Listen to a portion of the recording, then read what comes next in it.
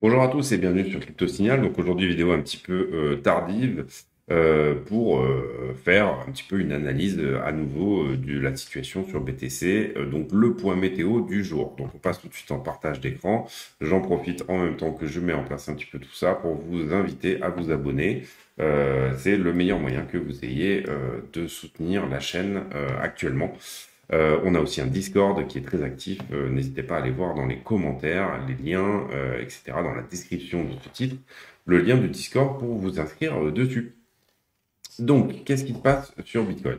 Là, on est en 15 minutes. On va peut-être passer en délit déjà pour faire un petit point rapide euh, sur euh, ce qui s'est passé aujourd'hui. Aujourd'hui, pour moi, euh, concrètement, on est retourné en zone de rechargement. Donc, toute cette phase ici, là, que vous voyez de hausse, on est retourné en zone de rechargement de cette phase.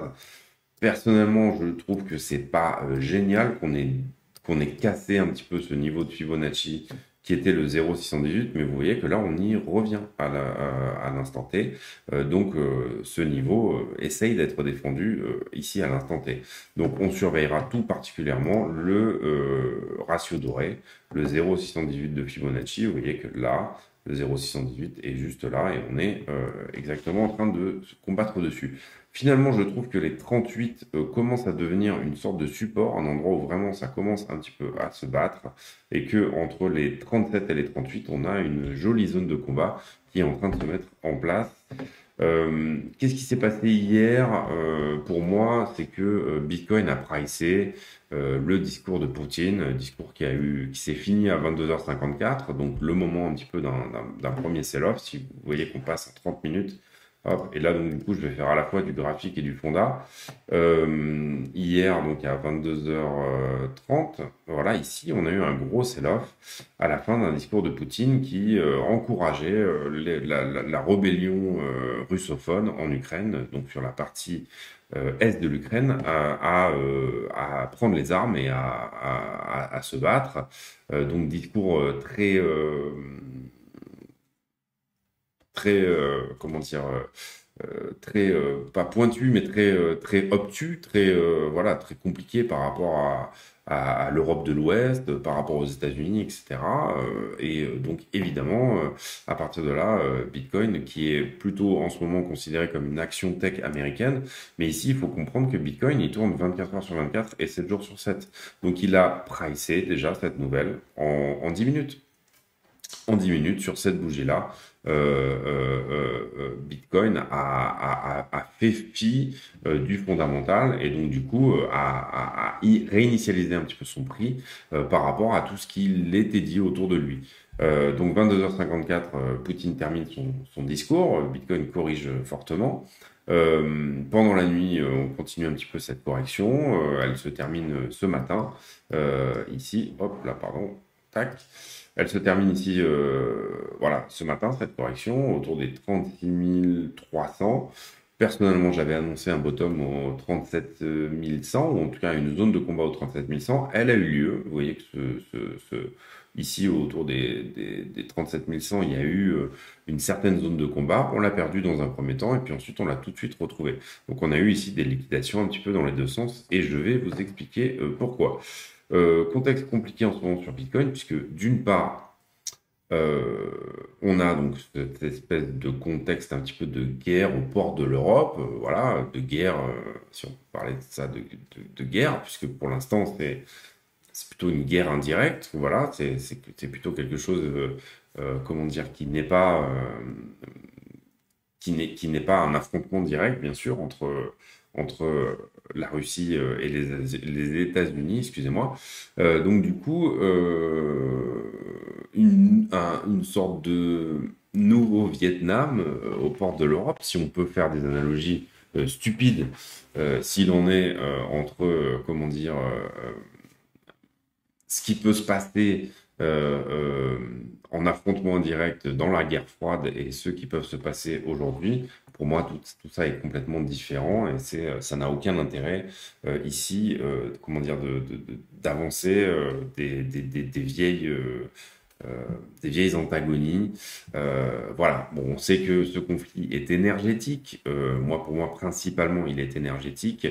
ça n'est pas pour le bon vouloir du peuple de l'Ukraine et la bonne démocratie du peuple de l'Ukraine que ici euh, on a euh, comment dire des, affrontements, c'est tout simplement par rapport à la vente du gaz à l'Europe de l'Ouest via Nord Stream 2, et c'est tout simplement euh, par rapport comment dire à, des, des, potentielles velléités de garder un pétrole haut. Voilà, certains oligarches peuvent se targuer en ce moment de vendre du pétrole brut à quasiment 100 dollars, et je pense que ça leur plaît beaucoup. Euh, c'est pas tellement la question de cette vidéo, mais euh, il faut comprendre euh, à partir de là que quand même on est revenu ici en zone de rechargement, c'est l'offre sur Bitcoin, etc. Donc du coup on repart ici relativement fortement. Tout ça sont des mouvements de liquidation que je vais vous expliquer qui tiennent plutôt au sentiment.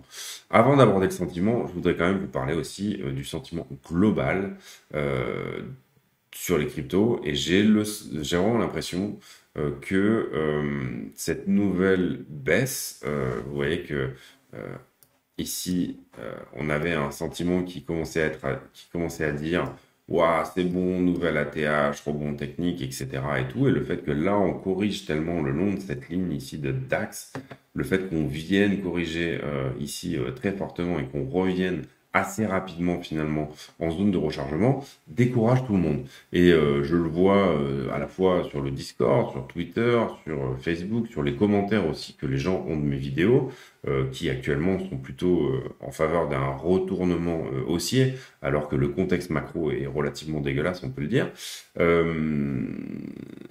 en fait, pour moi, ça, c'est de leur embarras. Enfin, pour moi, je le vois comme une opportunité d'investissement euh, relativement euh, énorme, que ça soit sur les stocks, que ça soit sur le Bitcoin, que ça soit sur énormément de choses.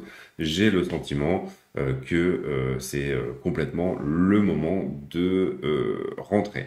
donc j'ai placé quelques petits trades, etc. Ça c'est ma manière, c'est mon truc, hein, c'est ma manière d'agir, etc.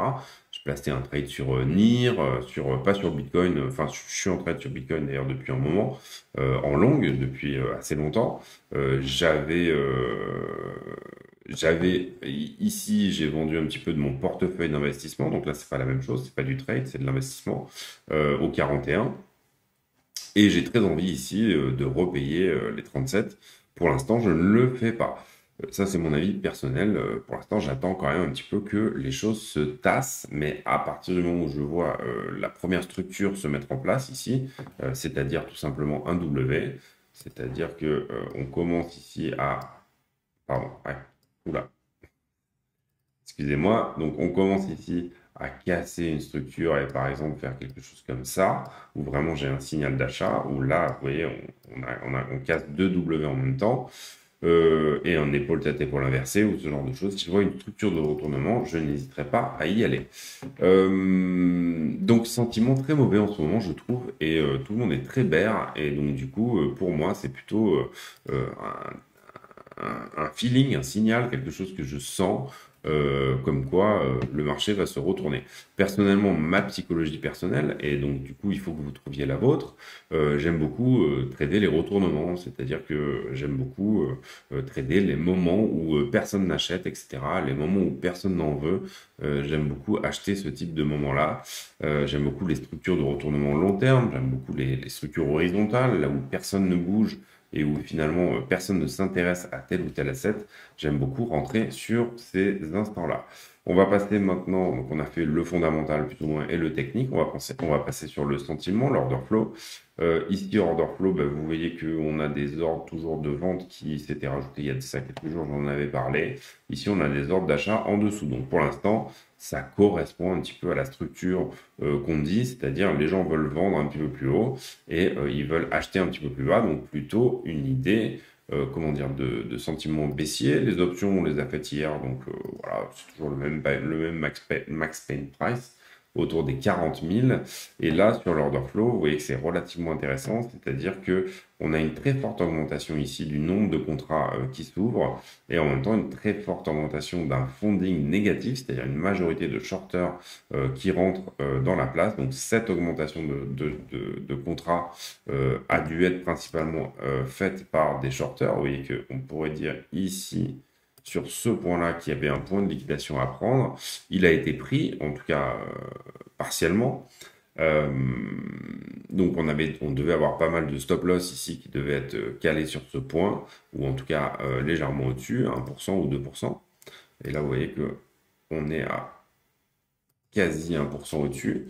et que donc du coup ici le prix là on, ça continue à shorter, shorter, shorter, shorter, shorter, shorter, tout ça est shorté. On pourrait décaler ça ici par exemple. Et euh, ici, grosse position qui s'ouvre. Vous voyez que le nombre de contrats augmente fortement et le funding diminue fortement. Euh, et donc, donc ici, j'ai rajouté ici cette barre euh, qui est une barre de longue à prendre en dessous du prix. donc celle-là, on pourrait essayer de venir la chercher. C'est relativement simplifié ici, puisque vous, comprenez que les stops ici euh, se trouvent plutôt, euh, comment dire, en dessous de la structure. C'est-à-dire si, si moi, par exemple, je rentre en trade ici à l'instant T euh, sur cette barre rouge, là, ici, j'irai placer mon stop plutôt à cet endroit-là. Mais ça permet de simplifier un petit peu les opérations et de comprendre ce qu'il en est. donc là, pour moi, ce, ce, point de short là a été pris ou partiellement pris. Si jamais on devait aller chercher euh, le point de liquidation le plus haut de ce point de short là, on irait ici chercher, euh, alors d'abord les 1%, donc au 36, 38 187, potentiellement les 2% au 38 549 et euh, peut-être éventuellement les 4%, donc levier x25 au 39 000. Si on va chercher les leviers x20, donc ceux de FTX, etc., euh, on irait chercher les 39 euh, 600.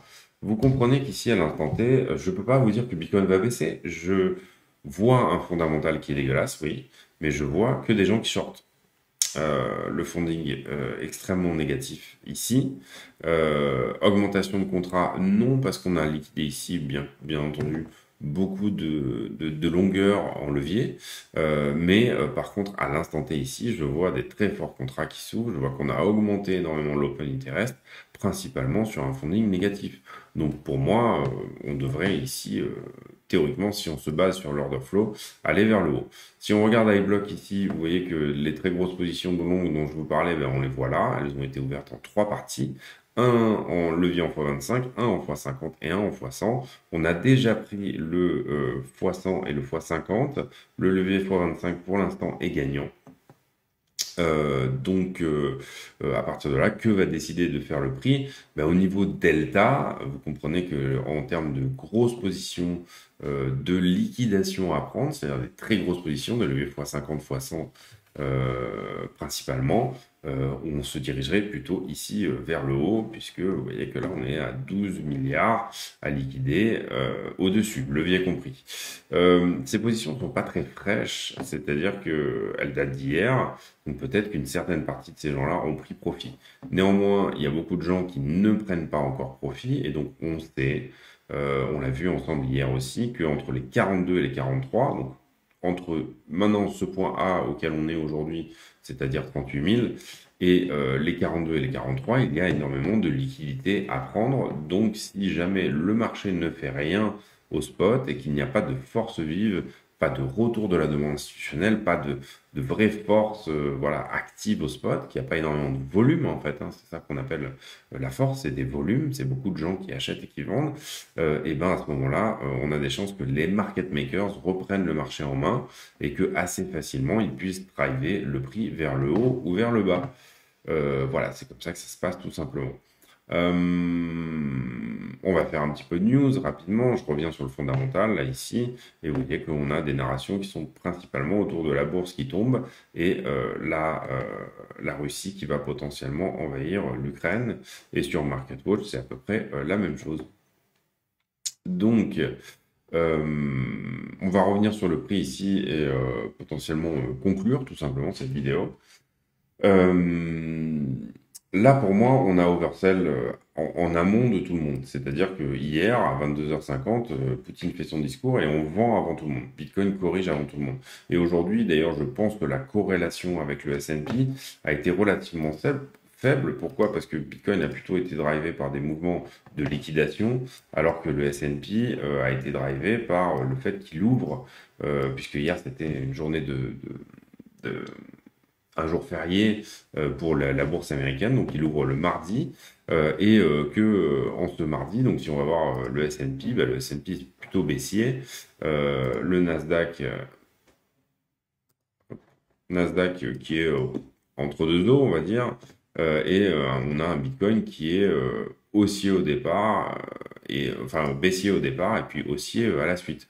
Là, on va tutoyer les 38 pour moi, personnellement, euh, je euh, pense, et euh, je n'ai aucun problème avec ça, parce que c'est mon avis, et parce que je, n'essaye de convaincre personne, mais je vous donne mon opinion. je pense que Bitcoin va assez rapidement, peut-être, retaper les 42-43.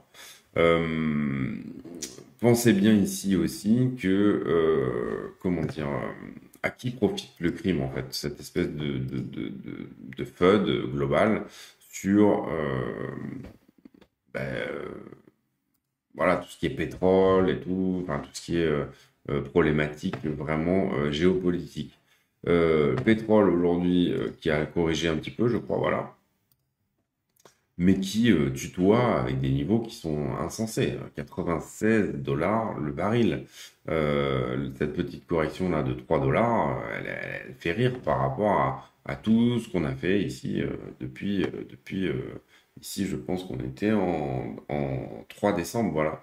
3 décembre, le pétrole se retourne et il repart vers le haut. un VIX aussi qui, pardon, excusez-moi, un VIX qui, qui a tutoyé aujourd'hui les 30, 32, il n'a pas tutoyé, mais il les a un petit peu percés même. Euh, donc euh, VIX qui est l'indice de la peur, sur les marchés, euh, un VIX qui a fortement, comment dire, influencé aussi bah, ce, début de journée sur sur Bitcoin. À partir de là, bon, je, pense qu'on a fait le tour et je suis désolé de, de, de comment dire de assez souvent répéter un petit peu les mêmes choses. Mais si vous entendez autour de vous euh, Bitcoin ça va à zéro, c'est un bear market, c'est terrible, etc. Vous voyez ici sur le scalpex qu'on est euh, dans l'extrême peur. Euh, et ben pour moi, et c'est mon avis, c'est ma manière d'envisager les choses et ma psychologie est totalement euh, ok avec ça. Euh, il est temps euh, potentiellement d'investir ou de placer un long sur certains assets. vous savez que voilà, c'est ma manière de faire. Trouvez votre manière de faire et soyez à l'aise avec elle. Mais pour moi, ici, on est sur une structure de retournement et je reste sur, comment dire, mon sentiment exactement comme je l'avais annoncé hier et prédit. Euh, voilà, c'est tout pour moi aujourd'hui. Si vous avez euh, aimé cette vidéo, n'hésitez pas à mettre un pouce bleu, euh, activer la cloche des notifications et vous inscrire, vous abonner. Le Discord aussi, j'en profite pour vraiment vous dire, il y a un onglet aussi dans le Discord ressources, bouquins, etc. les indicateurs que j'utilise. le Discord est, commence à devenir vraiment très actif, c'est très sympa, une, une communauté très chouette. Euh, on n'est pas beaucoup, en fait, euh, on est 80, euh, donc du coup, ça permet vraiment d'être relativement soudé. et puis, comment dire, également, bah, voilà, cette chaîne qui, qui a le mérite d'exister et j'espère qu'il vous plaît. C'est tout pour moi aujourd'hui. Je vous dis à demain pour un nouveau point météo sur le BTC et je vous dis également que si vous avez réussi à regarder cette vidéo jusqu'à la fin, mettez en commentaire le le, le, la marque et le modèle de votre ordinateur et est-ce que euh, vous l'aimez ou pas? Euh, si jamais euh, c'est le cas. Euh, j'ai pas trouvé mieux, désolé. Hein. Vraiment, je cherche sur les commentaires à la con, mais mais voilà, j'ai pas trouvé mieux que ça. Donc la marque et le modèle de votre ordinateur, si jamais vous avez réussi à, regarder cette vidéo jusqu'à la fin. Je vous souhaite une excellente soirée, merci de m'avoir suivi et bonne soirée à tous. Salut.